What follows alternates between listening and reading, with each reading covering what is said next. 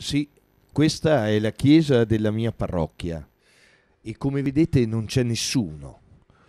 Purtroppo in questo periodo non c'è il catechismo, non c'è l'oratorio, non si celebrano pubblicamente neanche le messe e c'è un grande silenzio. Ed è proprio per rompere questo silenzio che io ho voluto fare qualcosa per tutti i ragazzi che frequentano questa parrocchia e tante altre. Ah, eh, naturalmente ci sono anch'io. Fino adesso avete sentito la mia voce, adesso mi vedete. Lo so che c'è qualche spiritoso che potrebbe dire era meglio quando non ti vedevamo, Don Francesco, perché la visione non è delle più belle. Sta di fatto che però ci sono anch'io e voglio dire che mi manca molto, mi manca molto il catechismo, mi manca molto l'oratorio, soprattutto mi manca molto il poter celebrare la Santa Messa con tutti voi, con tutti i bambini, ragazzi, giovani, giovanissimi. Eh, noi qua nella nostra parrocchia abbiamo anche la scuola San Paolo, mi manca molto e proprio per cercare in qualche modo di colmare questa mancanza mi è venuto in mente di fare qualche incontro di catechismo. E allora così come siamo soliti fare, come quando ci siamo sempre trovati qua attorno sul cortile, poi magari una visita in chiesa oppure nel salone, poi nei diversi gruppi di catechismo, Ecco, come facevamo di solito, noi ci incontriamo, un po' di gioco, questo non è possibile farlo in televisione, ma possiamo fare una preghiera, proprio per dire che questo è un incontro vero di catechismo guarda che non va bene come stai facendo. Sì, lo so, guarda che ti vedo, perché sei un po' distratto, stravaccato sulla poltrona, magari che stai un po' abbracciato o litigando con tuo fratello o tua sorella, mettiti composto, come siamo abituati a fare, e iniziamo insieme facendo la preghiera. Nel nome del Padre, del Figlio e dello Spirito Santo. Amen. Ecco, in questo periodo dobbiamo ricordare tante persone e eh, voi, bambini, ragazzi, avete un grande potere, quello di essere ascoltati dal Signore prima degli altri. Per questa ragione allora preghiamo per tutte le persone che sono ammalate di coronavirus, per tutti coloro che lo assistono i familiari, i medici, gli infermieri, per tutti coloro che in questo periodo lavorano, per tutte quelle famiglie che invece sono a casa e sono tanti di voi rinchiusi dentro. Preghiamo perché il Signore ci faccia avvertire sempre di più la sua vicinanza e aiuti ciascuno, i malati, chi li assiste, a essere forti, fiduciosi, pieni di speranza. Padre nostro che sei nei cieli, sia santificato il tuo nome, venga il tuo regno, sia fatta la tua volontà come in cielo così in terra. Dacci oggi il nostro pane quotidiano e rimetti a noi i nostri debiti, come noi li rimettiamo ai nostri debitori, e non ci indurre in tentazione, ma liberaci dal male. Amen. Ecco, mentre voi state guardando questa trasmissione, mercoledì 25 marzo è una grande festa, è la solennità della Annunciazione. L'angelo porta l'annuncio alla Vergine Maria e così Dio si può incarnare ed entra nella storia dell'uomo. Preghiamo Maria che aiuti ciascuno di noi ad accogliere suo figlio Gesù come ha fatto lei. Ave o Maria, piena di grazia, il Signore è con te. Tu sei benedetta fra le donne e benedetto è il frutto del tuo seno Gesù. Santa Maria, Madre di Dio, prega per noi peccatori, adesso e nell'ora della nostra morte. Amen. Non possiamo non ricordare tutti i cari defunti. Purtroppo in questo periodo, come tutti sanno e anche voi ragazzi, bambini lo sapete, ci sono delle persone che hanno chiuso a causa di questa malattia la loro vicenda terrena, ma sono vive, sono vive davanti a Dio, sono nelle sue mani. Preghiamo perché oltre a essere vivi, e questo è scontato, siano anche felici. L'eterno riposo dona loro, Signore, e splenda ad essi la luce perpetua, riposino in pace. Amen. Nel nome del Padre, del Figlio e dello Spirito Santo. Amen.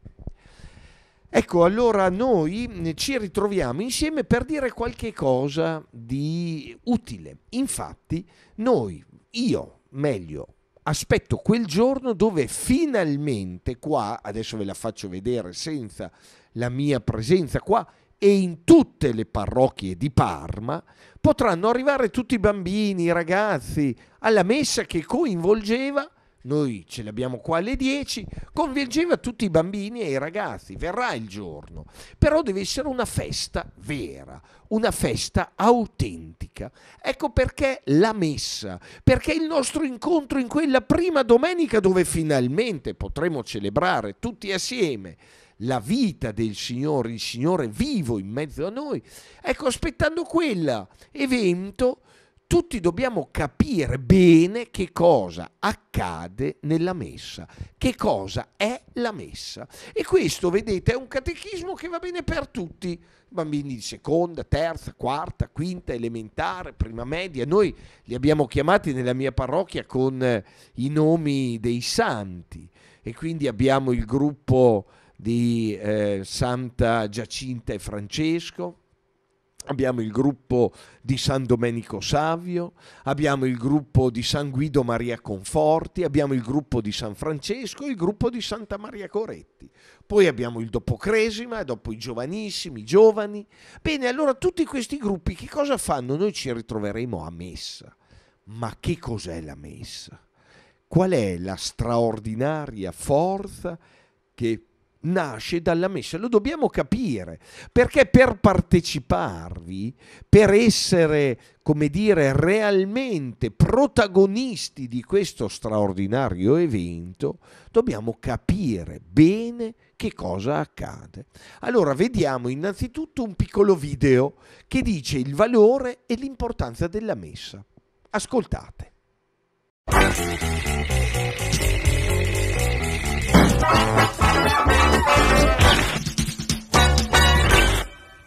Cos'è l'Eucarestia? Che cosa succederebbe se facessi alla gente questa offerta? Chiunque salta su una gamba sola per un'ora riceverà 100 dollari. Senza dubbio ci sarebbero poche persone a gareggiare per questa sfida. Ma se si dovesse aumentare il premio a 1000 dollari, i concorrenti sarebbero certamente di più. E se si dovesse alzare la posta a 100.000 dollari, allora avremmo il pienone. Ora, Cosa pensate che accadrebbe se avessimo offerto anche più di 100.000 dollari e per di più senza che la gente avesse bisogno di saltare su una gamba per ottenerlo? Che cosa potrebbe accadere? Durante la Santa Messa ci viene offerta la Santa Comunione e la Santa Comunione vale mille volte di più di molti secchi pieni d'oro. Nella Santa Comunione è presente Cristo stesso. Questo la rende senza prezzo, infinitamente prezioso, e non serve nessun salto su una gamba. Quindi se c'è un sacco di sedie vuote nella Chiesa oggi, allora è ovviamente perché molti cattolici non hanno idea di che cosa sia in realtà la Santa Comunione, non hanno idea di quello che si perdono. Quindi, cos'è la Santa Comunione? Durante l'ultima cena, Gesù prese il pane e il vino e pronunciò le parole Questo è il mio corpo e questo è il mio sangue. Non ha detto che questo era da intendere solo simbolicamente, ma che qui abbiamo veramente il suo corpo e il suo sangue. Il Vangelo di Giovanni, capitolo 6, lo dice molto chiaro. Ora Gesù ordinò agli apostoli di fare questo in memoria di lui. E questo è ciò che ha fatto la Chiesa fino ad oggi. Nella Santa Messa, i doni del pane e del vino vengono trasformati sull'altare. La Santa Eucarestia, come i doni vengono chiamati dopo la consacrazione, appare come il pane e il vino, sa di esso e si sente come se lo fosse, ma non è più il pane e il vino. Ha l'aspetto esteriore di queste cose, ma attraverso la consacrazione è diventato veramente il corpo e il sangue di Cristo. Le apparenze, ciò che vengono chiamate specie, rimangono le stesse, ma quello che è, la sostanza, cambia. Proprio per questo la trasformazione che avviene durante la messa si chiama transustanziazione. e la presenza di Gesù sotto la specie del pane e del vino si chiama presenza reale. Questa presenza di Gesù è vera e reale, ma la sua modalità differisce dalla presenza di altre cose materiali. Se noi dividiamo le cose materiali, ad esempio il pane, a metà, allora avremo una metà a sinistra e l'altra metà a destra. Ma se si rompe l'ostia in due parti, allora non abbiamo diviso Gesù, ma solo la forma esteriore. Infatti Gesù è, come abbiamo detto prima, veramente e realmente presente nell'Eucarestia, ma non nel modo in cui agiscono le cose materiali. Piuttosto egli è veramente e totalmente presente in ogni parte, perfino nelle particelle più piccole, quindi può anche essere presente allo stesso tempo in tutto il mondo a ogni messa. La presenza reale che Cristo ci ha lasciato in questo sacramento è un grande dono. Non era costretto a farlo, ma nel donarsi a noi sotto l'apparenza di qualcosa da mangiare e da bere, egli ci mostra che è colui che davvero ci nutre, rafforza la nostra anima e ci fa crescere.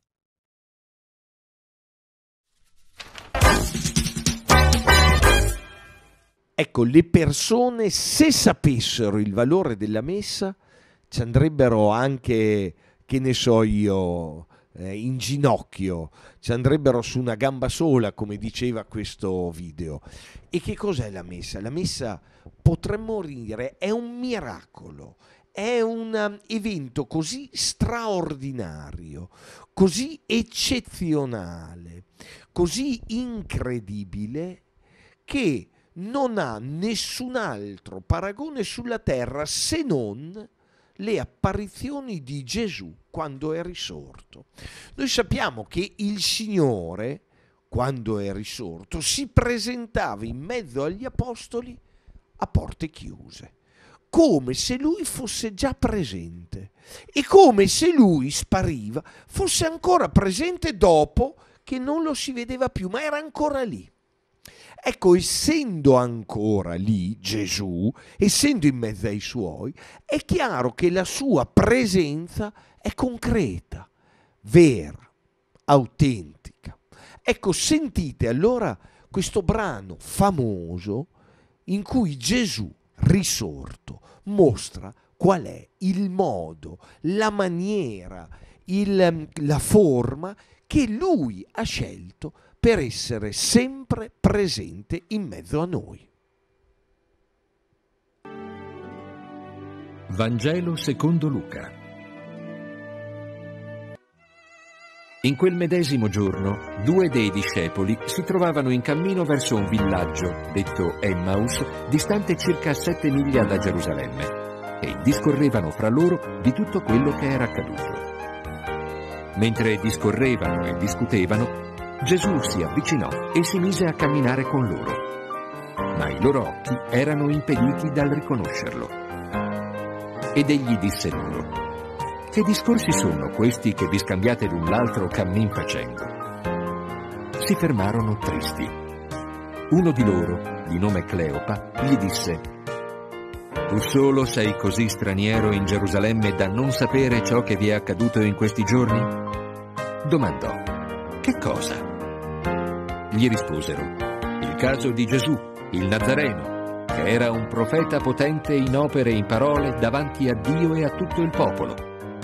Come i gran sacerdoti e i nostri capi lo hanno consegnato perché fosse condannato a morte e lo hanno crocifisso. Noi speravamo che fosse lui quello che avrebbe liberato Israele, ma siamo già al terzo giorno da quando sono accaduti questi fatti. Tuttavia alcune donne tra noi ci hanno sconvolti. Esse si sono recate di buon mattino al sepolcro, ma non hanno trovato il suo corpo. Sono tornate a dirci di aver avuto una visione di angeli, i quali affermano che egli è vivo. Alcuni dei nostri sono andati al sepolcro e hanno trovato tutto come avevano detto le donne, ma lui non l'hanno visto.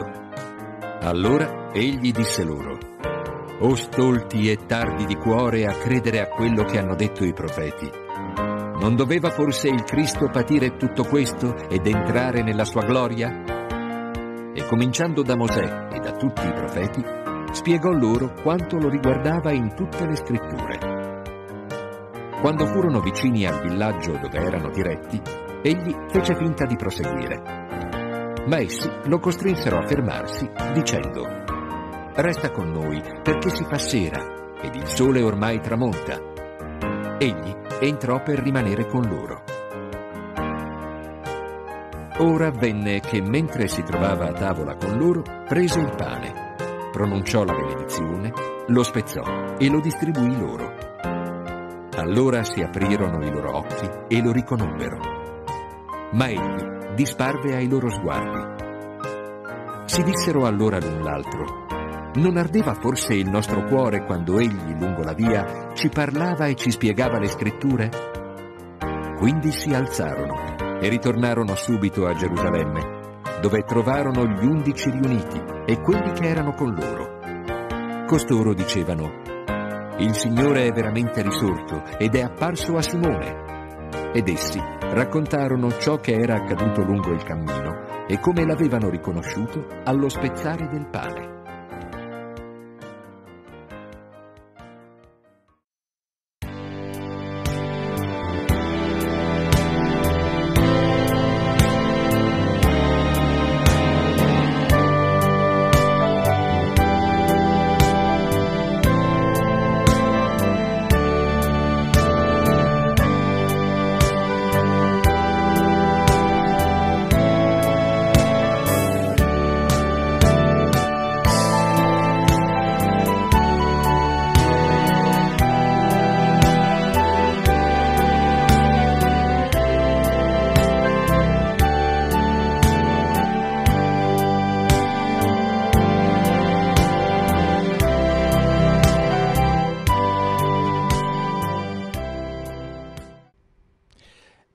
Questo episodio bellissimo, straordinario, che ricorda l'evento del primo giorno di Pasqua. Gesù è risorto, è risorto, la tomba è vuota.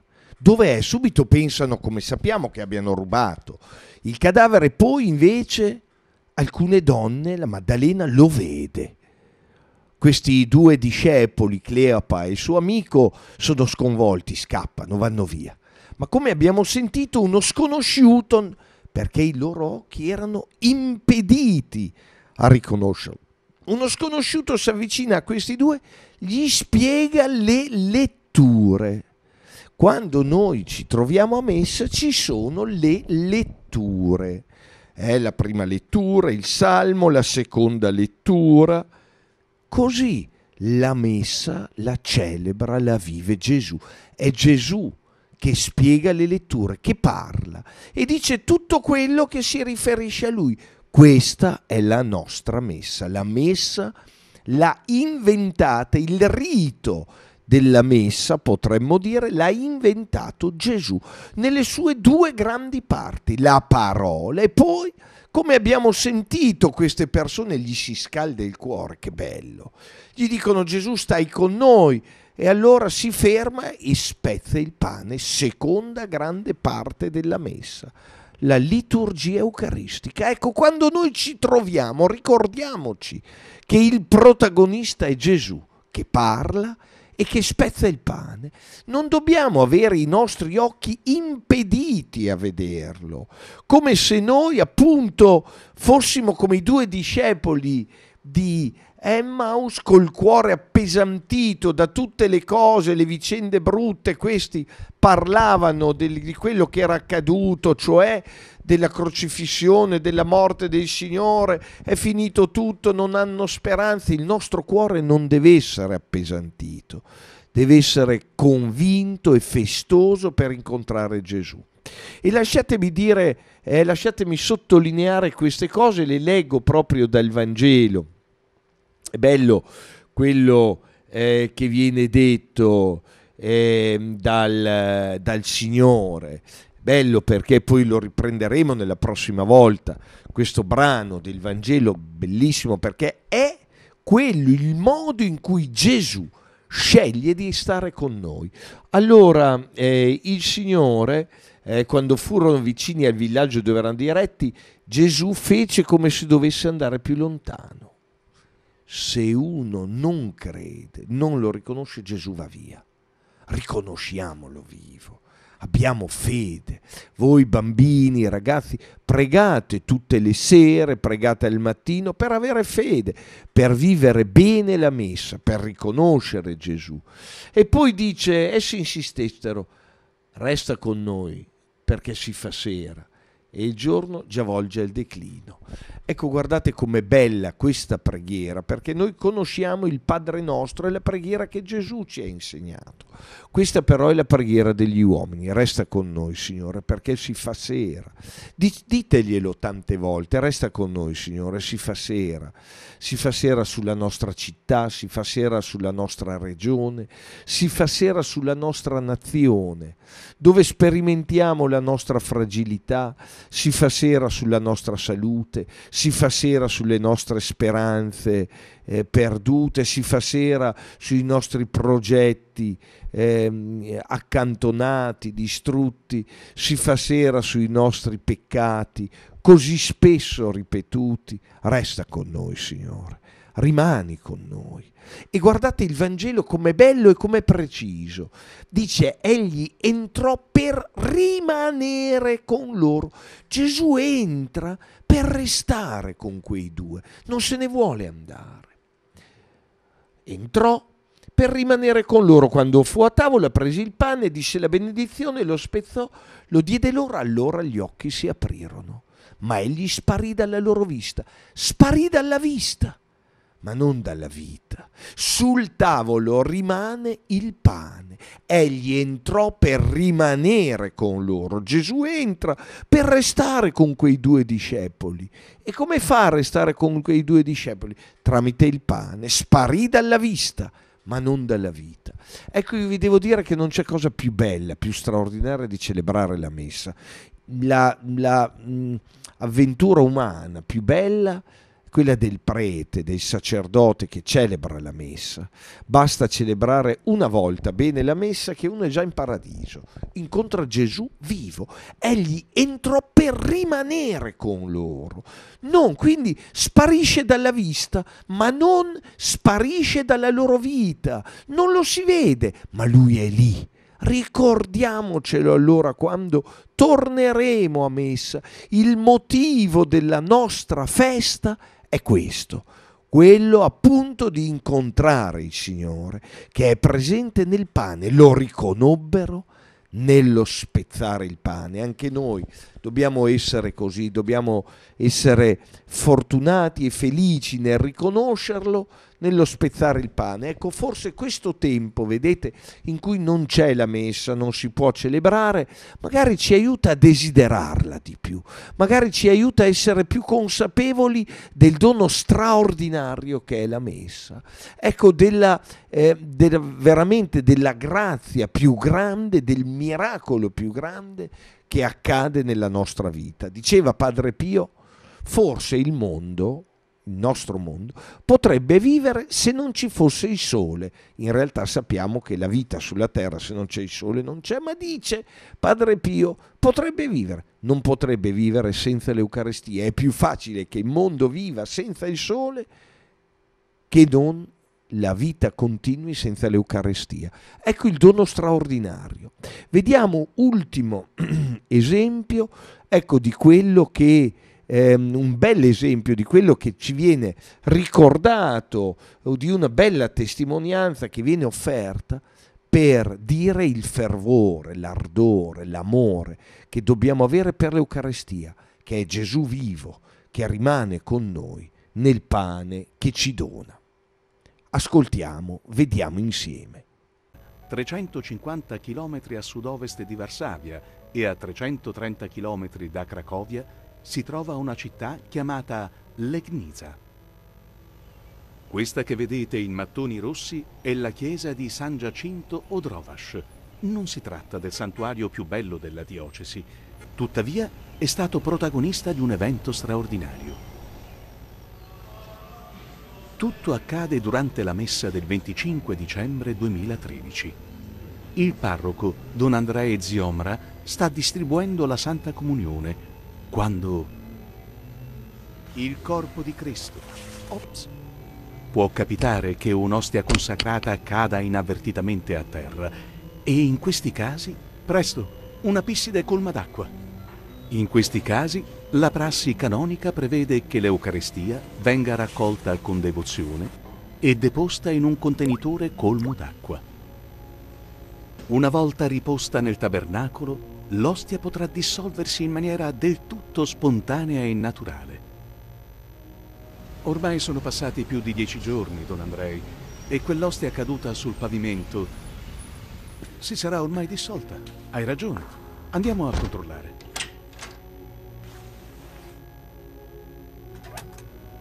Che strano. Non si è dissolta per niente. Non solo non si è dissolta, non vedi quella macchia rossa? Sembrerebbe sangue. Volete dire che bisogna avvisare subito il vescovo? Una volta avvisato, il vescovo di allora, Monsignor Stefan Ciche, istituisce una commissione teologica e scientifica per analizzare l'evento. Per i sacerdoti il miracolo è già evidente. La commissione deve però verificare se quella traccia rossastra non sia dovuta alla presenza di una qualche muffa o agente batterico, come è capitato in altri casi.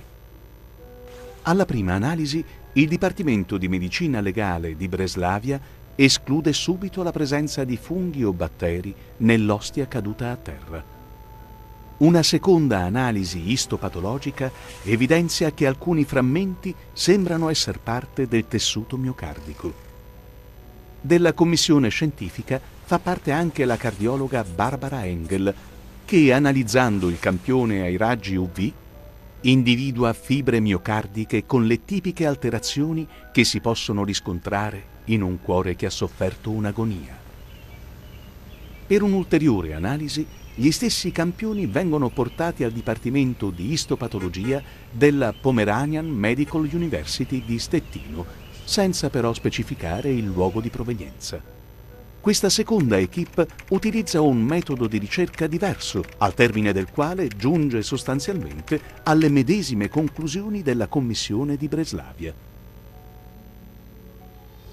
Dall'immagine istopatologica risulta che i campioni esaminati contengono parti frammentate di muscolo striato trasversale, molto simile al muscolo cardiaco umano, con alterazioni che appaiono di frequente durante un'agonia.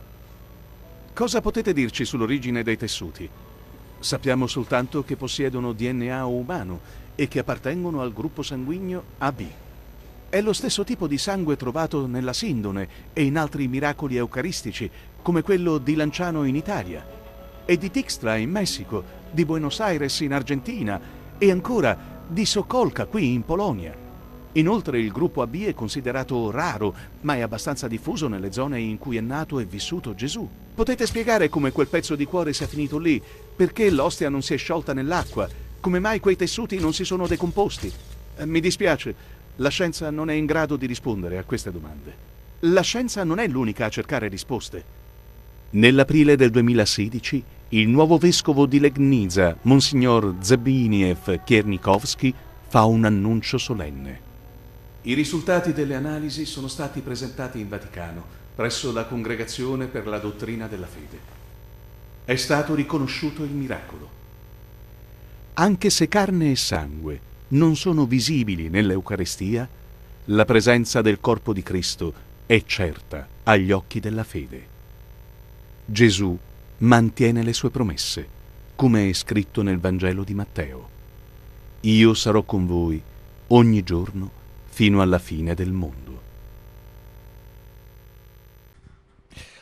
Come buono il Signore che ci dà la conferma di quello che ha detto. Il Signore mantiene le sue promesse. Lo riconobbero nello spezzare il pane. Io sono con voi tutti i giorni fino alla fine del mondo. Ecco, ricordiamoci di questa realtà, di questa grande verità straordinaria proprio perché, come dicevo, magari la lontananza dall'Eucarestia faccia aumentare in noi il desiderio di poterla rivivere, gustare, di poter incontrare Gesù vivo in mezzo a noi. Ecco per questa ragione, allora invito tutti voi ragazzi, bambini, a pregare sempre tutte le sere, perché la fede aumenti e perché anche in questo tempo di particolare prova, sofferenza, si bisogna stare in casa, ci sono un clima un po' pesante, non si può andare in strada. Ecco, anche in questa realtà pesante non abbiamo a perdere la speranza e anche ci aiuti a tornare tutti, particolarmente gli adulti, più vicini al Signore. Per questo insieme concludiamo il nostro incontro di catechismo come l'abbiamo iniziato, cioè con la preghiera. Nel nome del Padre, del Figlio e dello Spirito Santo. Amen. Ave o Maria, piena di grazia, il Signore è con te. Tu sei benedetta fra le donne, e benedetto il frutto del tuo seno, Gesù.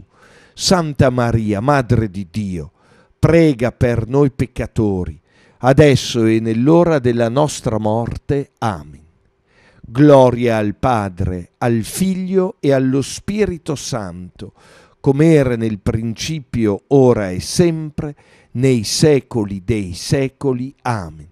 Infondi, Signore, nei nostri cuori la tua grazia e concedici una fede sempre più ardente e viva nella tua santa Eucaristia, tu che vivi e regni nei secoli dei secoli. Amen. Nel nome del Padre, del Figlio e dello Spirito Santo.